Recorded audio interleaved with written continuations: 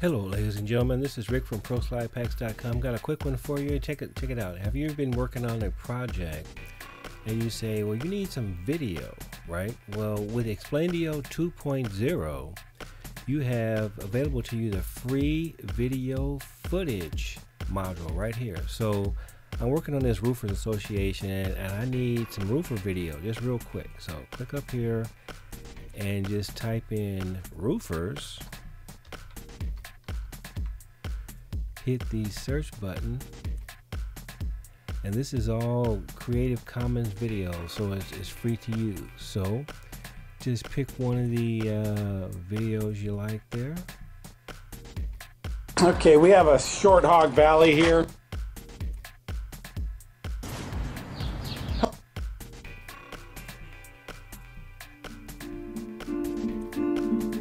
See if you can find something that fits uh, what you're trying to do.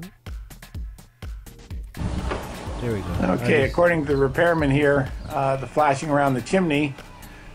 And I'm not going to need the sound. I just want to have a, a, short video of some people working on the roof, right? So now I go to the add video, and right here, add video from free video footage. Okay, so I pull out the roofer video.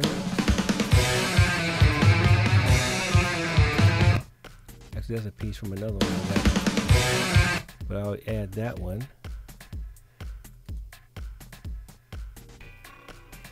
And there is my roofing video. So now, when I run the slide,